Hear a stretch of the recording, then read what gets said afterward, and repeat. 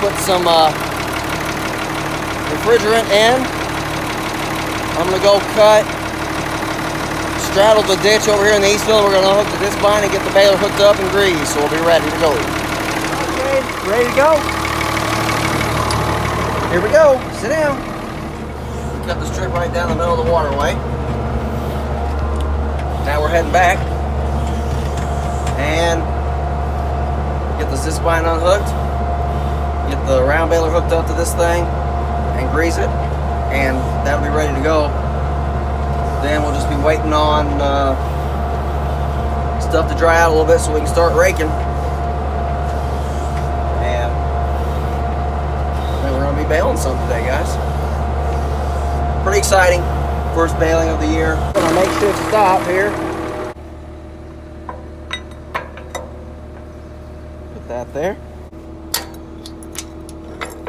Pull that. Back in this hole down here chain out of the way. Pin back in. And she's locked. Now we'll let her down and we can unhook the hydraulics. Take our high-tech hose retaining system off here. Pull the pin, jacking it up. I told Cade to stand back. Ran all the way back there. That's a good boy. Way to be safe. All right there we go. Looks like it's getting ready to take off flying, don't it? All right, we backed up here. Turn the tractor off here. We're gonna swap the PTO shaft and grease the baler, and then we'll hook up. And we'll be ready to start raking, I guess. All right, scratch that. I just checked the hay. It's getting dry on top. So we need to rake it before it gets any drier so we don't lose too many leaves. So we're gonna grab the rake. Once we get done raking, we'll get the baler ready. It, it can be drying there in the meantime. Come on, Cade, let's go. Off we go. All right, guys. Me and Cade are gonna get on the Deutz 6150, pulling the 310 Gehl rake. And we're gonna go ahead and rake the alfalfa right now. We might go ahead and rake the rest too, I don't know. Uh, but while he's on there, I'm probably not gonna get a whole lot of footage for you guys because I wanna concentrate on keeping an eye on him. And uh, obviously making sure he doesn't fall off or anything crazy like that. So, uh, as long as he's on here, the, the footage is going to be pretty limited. Uh, I'm sure you guys hopefully understand. And I want him to want to spend time with me. And whenever he does want to spend time, then we're going to do it. So, ready to roll, Cade? Oh, yeah, he's ready.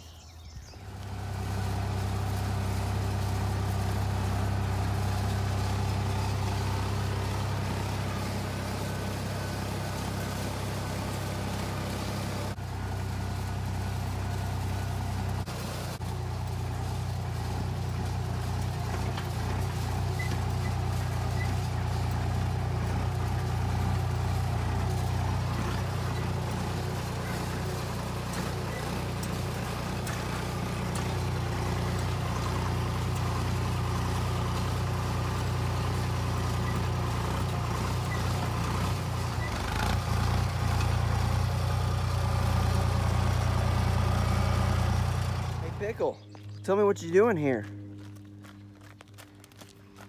What do you got? Pickle. What do you what do you got here?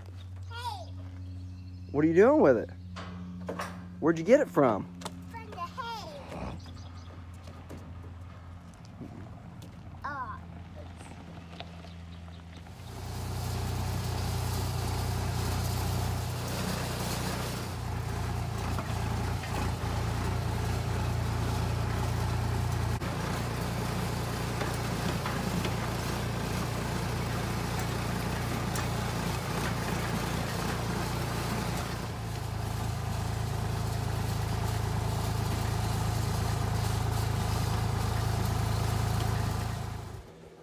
That was the most wearing five acres I've ever raked in my entire life.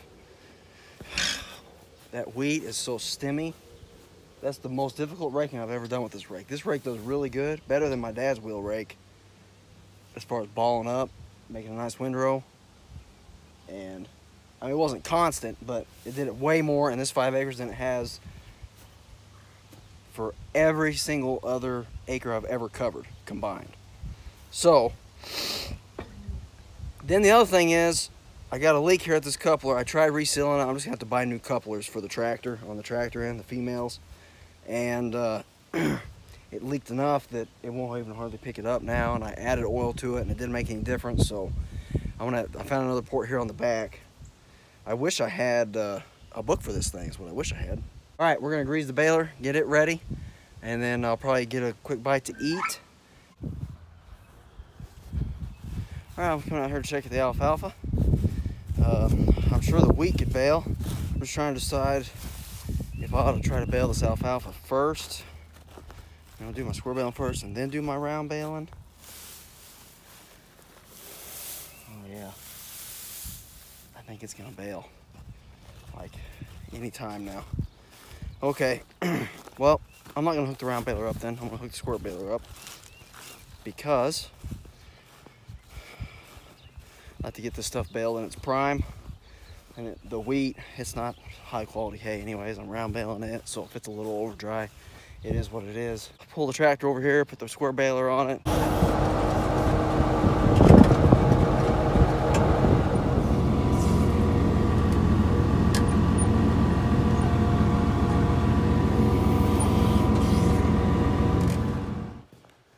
Five forty PTO shaft. You know, this isn't really that big of a deal, but it is kind of a pain. Uh, five minutes here and five minutes there adds up, I guess. But uh, I don't have much of a choice right now. All right, that's done. Didn't take long. Never does. But, like I said, it is a pain. So maybe, maybe we'll do something about that here one day. Time will tell. We're all hooked up. Pull this wheat stuff out of here all hooked up. Ready to roll. I gotta get the rope up there. And uh, I don't have the acid. I'm baling. I don't want to wait any longer on the alfalfa to dry. So I get done with the alfalfa and that other field's not quite ready. I may run and get it or I may send somebody to go get it for me or something. But as of right now I'm not taking the time to go get it because I need to be baling. So won't take long to bale this fill, assuming nothing goes wrong. Um, you caught a glimpse there of the applicator. Um, may not even get to use it this time around. We will get to use it though, I'm certain of it. So, all right, I'm gonna go ahead and drop the pickup, get the rope up in the cab with me. We're gonna head over to the field. First start of the year for the baler.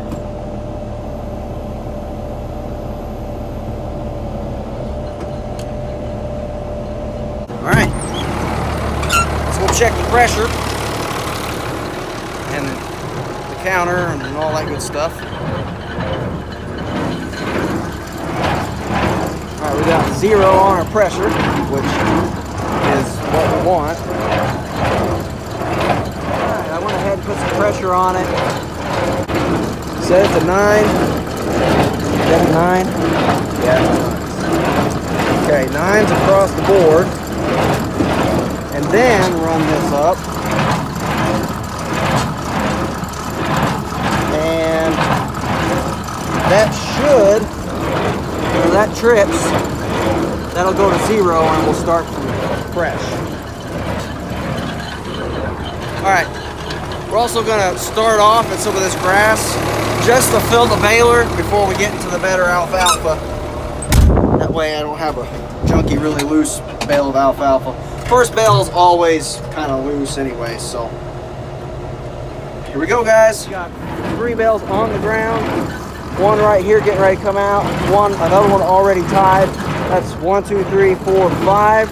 We got four on the counter, so that excluded the very first one, which I'm sure is super loose. And let's try. Woo! She's pretty tight. And none too dry, actually. Not a super bad thing. All right, I'm gonna take a few measurements here, check the hay, and uh, get back to baling. It just seems just a little bit on the tough side. I'm gonna go over here. Hey. I don't think he made it. Oh well. But man, this stuff's dry. I don't whew, that snake kind of stinks. Been out here ripening in the sun. This stuff's dry. Okay, we're gonna punch a few more out. Pressure is actually at right about 250. It's probably about right where we want it. Bale length is right around 38 inches, which is actually probably just about perfect for the stacker.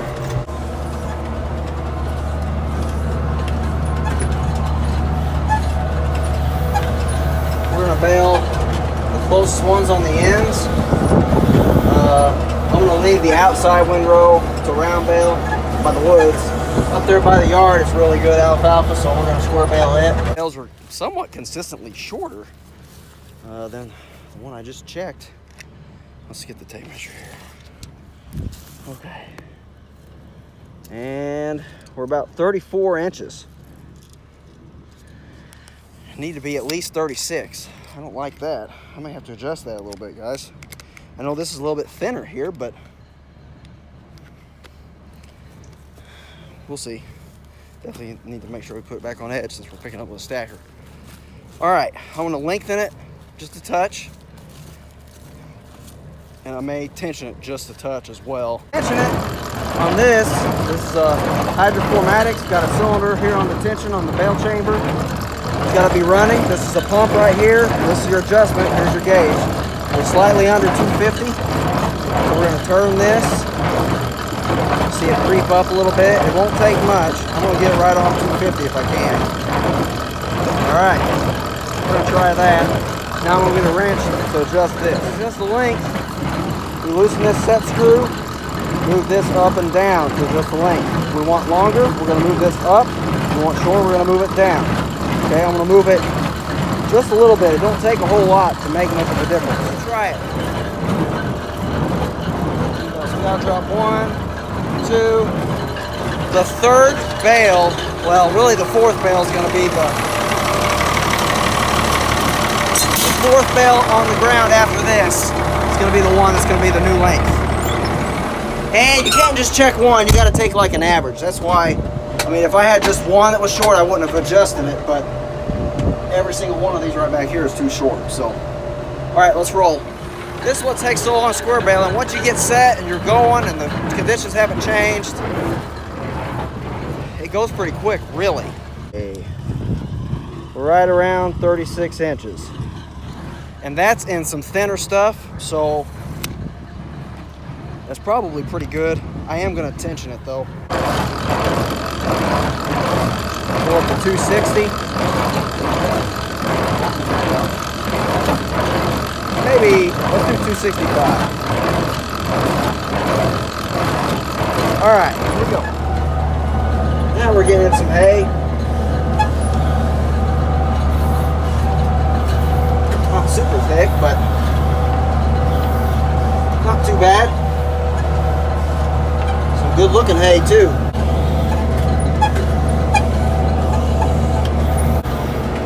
Right now we are running 4.1 miles an hour. Not in super heavy. All right, we're gonna check this one right here. Uh, I cranked it up to about like 280, 280 to 300, somewhere around in there. And I was running about five, five, a little over five miles an hour in this windrow here. Pretty good weight. I'm gonna take a measurement. The Bales weren't bad, but I realized I still had these backed out from over the winter, so I ran them in. Now we're gonna go back down here to about 260 or so. I like to run these in a little bit and then run a little bit more pressure here. I feel like it makes a little bit more nicer bale.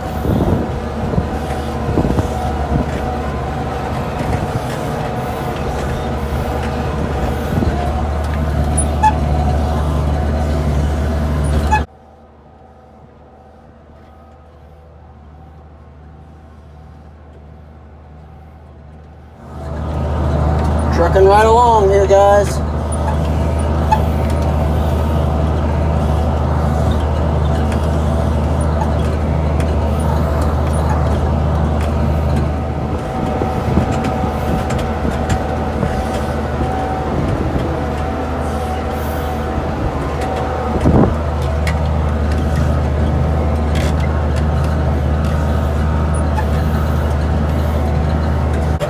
conditioning is very nice.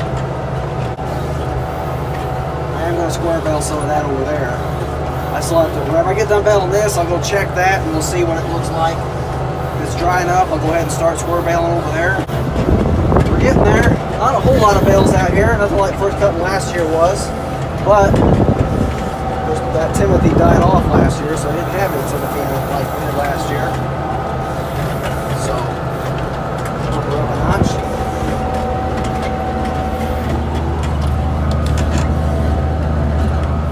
Alright two little shorty short windrows left.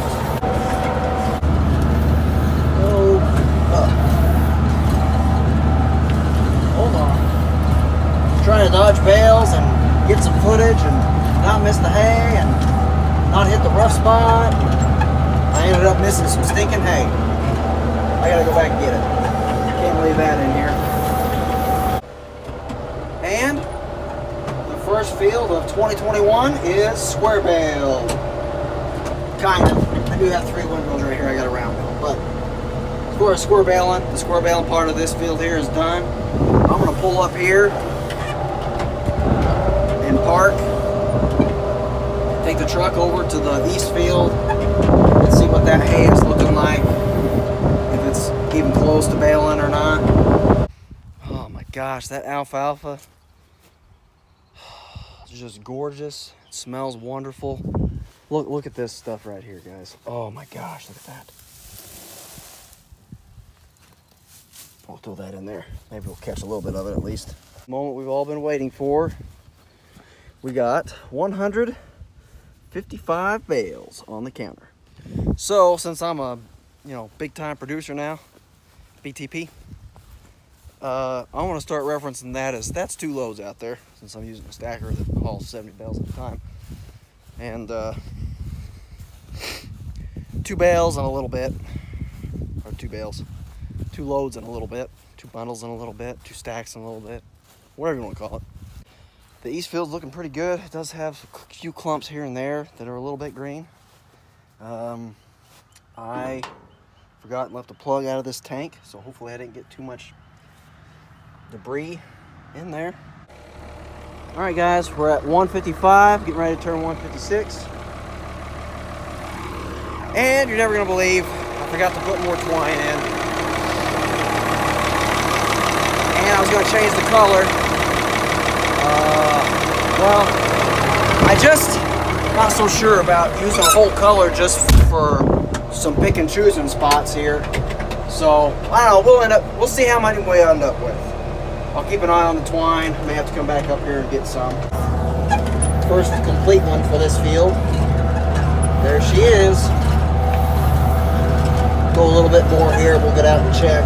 See how much it's different than the alfalfa was. We're not square right now. It's just a little bit tough. If I had my acid, I'd be putting some acid on right now, but I don't have it, so. Uh, my wife wasn't sick, I'd have her go get it for me while I start round baling. But she is sick, so I'm gonna go get it and try to get my square baling done first. And if it's getting getting a little bit tough, I don't mind my round bales being just a little bit tough, especially if we're feeding them to the cows. It's not a huge deal. Ugh.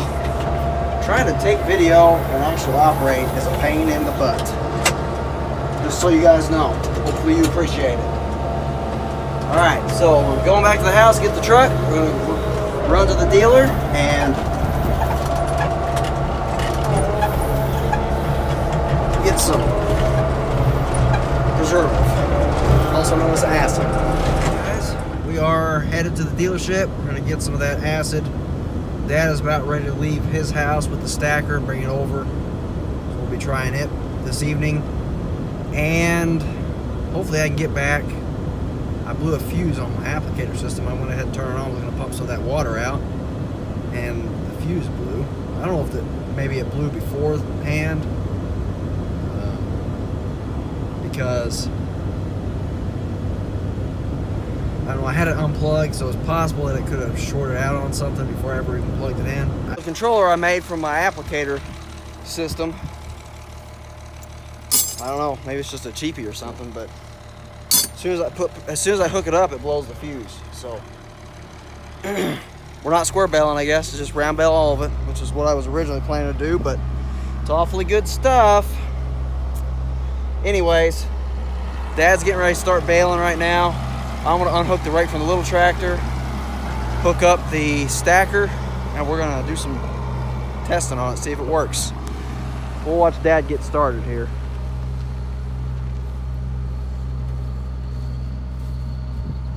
Oh man, that tractor sounds pretty good. I don't get to hear it from outside the cab very often.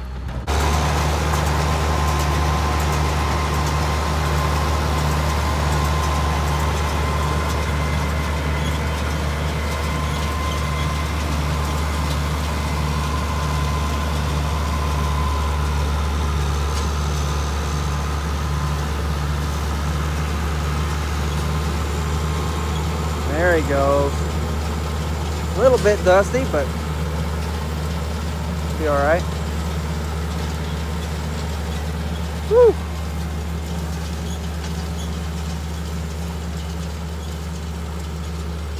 Balling up a little bit under that low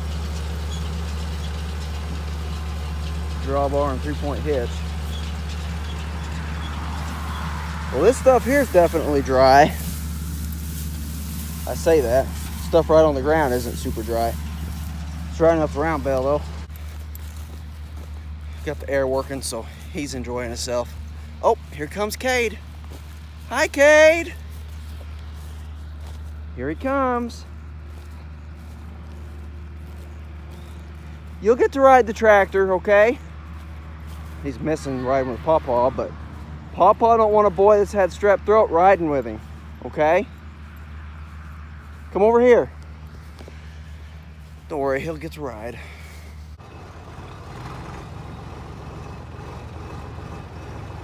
Crossing the ditch down here on the neighbor. Uh-uh. Okay, we're gonna hook up the stacker, Cade. See if we can get it to work. Fingers crossed, boy. I don't know that we're gonna get all this baled today, actually. It's already 6.30. That preservative thing is really irking me right now. I'm gonna have to go get another switch in the morning. I just got me a makeshift thing to have the, the control mounted to and we'll kind of play with this and see exactly where I like it and then we'll build something from there. But uh, I know the first few loads are probably gonna be a pain in the bottom because of how long it's been sitting. It'll take a little bit to get this all slicked up. But we'll see how it goes. All right, Cade, let's go. Hey guys, maiden voyage. I guess I'm doing okay so far. It seems like I might have a bearing going out here somewhere. It's kind of making some squawking now sounds when I speed it up a little bit. But it's loading. I'm doing okay with it. It's kind of slow with, with me trying to hold Cade while I'm doing it with this makeshift thing up here. And, uh, if you let out the clutch too fast, you pop a wheelie because of all the weight on the drawbar of this tractor. Definitely not built for it. Good looking hay though. I did not do an actual auto tie stack. I put a piece of cattle panel right in here. We're gonna try that, see how it does. Hopefully it does okay. So here we go, first time ever dumping.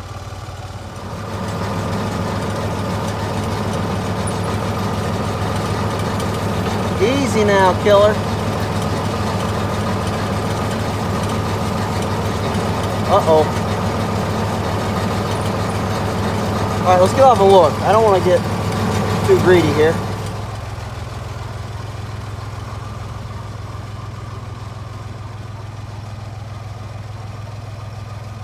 I don't know if she's gonna stand.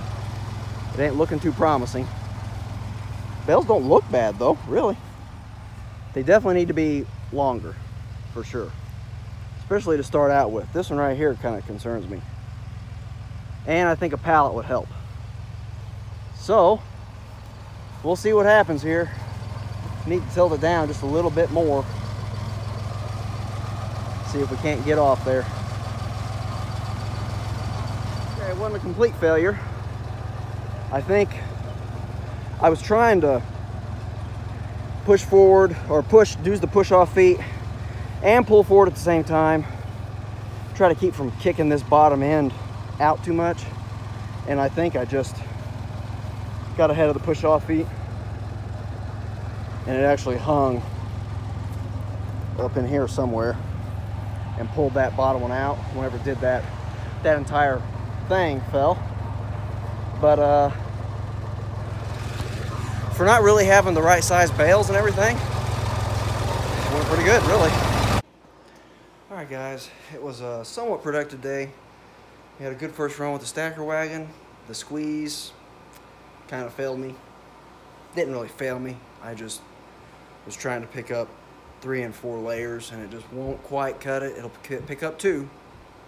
Um, the other problem is seeing out the skid steer, you can't just can't see where you need to be able to see from the skid steer with a squeeze. I think it'd actually be better with a tractor.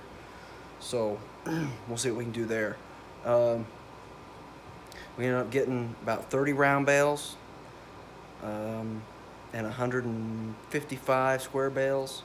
So not terrible, not great. I was really wanting a square bale that east field. It was just a little bit too wet. When I hooked up my preservative controller, it blow, blew the fuse. As soon as you hook it up, blew the fuse. I think the controller, inside the controller, something's bad, something shorted out. Pick up a switch tomorrow. I'll be able to run it tomorrow if I need to. I'm gonna take the baler over to Dad's. Uh, I'm gonna bale with his baler, see how it does, and then have my baler there um, I'm also going to take the stacker over there, take my tractor over there, take the skid steer over there. Still got to get these square bales picked up. Uh, got a lot of stuff to do. I don't know if I'm going to be able to do it. But when you're by yourself and you got to travel 30 miles, it's pretty difficult. So, anyways, that's it for today. Uh, some positives and negatives. Uh, this is just kind of how the beginning of season starts out. Hopefully it's uphill from here. I guess downhill. However you want to look at it. uh, but anyways, thank you for watching, guys. God bless you. God bless America. Franklin County Forage out.